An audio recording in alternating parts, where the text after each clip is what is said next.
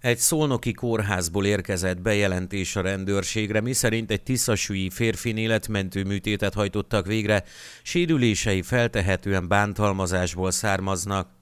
Társtettesként elkövetett életveszélyt okozó testisértés büntette miatt indítványozta az ügyészség egy 62 éves és egy 29 éves tiszesügyi férfi letartóztatását. A rendelkezésre álló adatok szerint a később bántalmazott férfi az idősebb férfi gyanúsítottnál lakott életvitelszerűen részére alkalmi munkákat végzett. 2023. december 26-án délelőtt vita alakult ki közöttük, melynek során a később bántalmazott férfi gépjárműbe ült és elmenekült a helyszínről.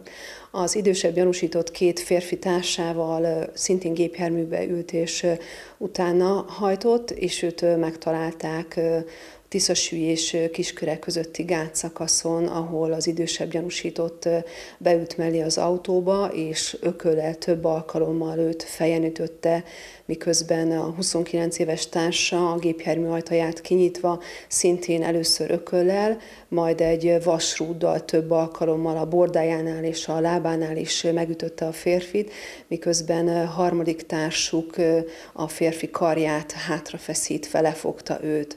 A bántalmazott férfinek sikerült a gépjárműből kijutnia, elmenekülnie, a Tisza árterébe menekült, ahová a bántalmazói már nem követték őt. A férfi életveszélyes sérüléseket szenvedett a bántalmazás következtében, rajta a kórházba szállítását követően azonnali életmentő műtétet kellett végrehajtani. A bíróság 2023. december 31-én elrendelte a két büntetett férfi letartóztatását.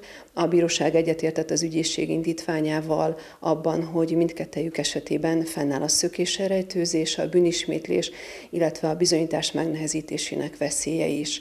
A férfiak is és a védőik is fellebeztek a bíróság döntésével szemben, így az ügyben végleges döntést a szónoki törvényszék fog hozni. A nyomozóknak sikerült kihallgatni a megvert férfit, aki részletesen elmondta, mi történt vele.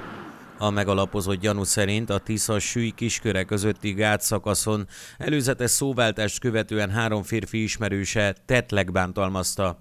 Másnap a nyomozóknak sikerült kihallgatni a megvert férfit, és pontosan elmondta, hogy mi történt vele. A megalapozott gyanú szerint december 26-án a Tiszasüly és Kisköre közötti gátszakaszon három férfi ismerőse előzetes szóváltást követően tetleg bántalmazta. Egyikük lefogta karját, míg a másik kettő kézzel és egy vasrúddal ütötték. A férfinek sikerült szabadulni a, a fogásból és elszaladt.